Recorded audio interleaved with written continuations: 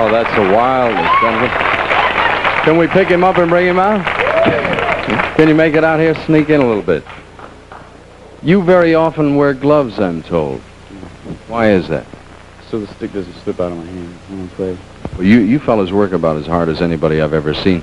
This, this wall of sound behind you, somebody said once they went in a studio and it caused reverberations before you started playing. How long have you been playing music? Uh, as a group, you mean? Yeah. Uh, about a year. A year? Are you all from the San Francisco area? Yeah. What? How do you differentiate your style of music from anybody else's? What makes Blue Cheer different? Heavy. Heavy, man. It's a heavy sound. You work harder, too.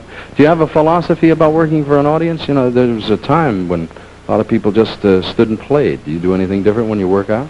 Oh, it has to be visual. We like to destroy things now and then. Destroy things now and again? Yeah, break, you know, the guitars. Only if it's right there on the spot. If you really feel like doing it, you know, we just get into it heavy.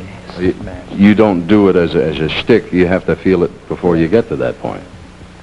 What are your future plans? Have you have you traveled much up and down the coast or far away? We're so spread, spread apart. Let's sneak in here, and then I can pass this mic around. Been as far as uh, far away as Denver, but like uh, Chicago, New York, and London, they're all in there, and they're coming up soon. I hope. Look forward to seeing New York. Yeah, very, yeah, a lot. Heard a lot about it, man. It's one of the most unusual cities in the world.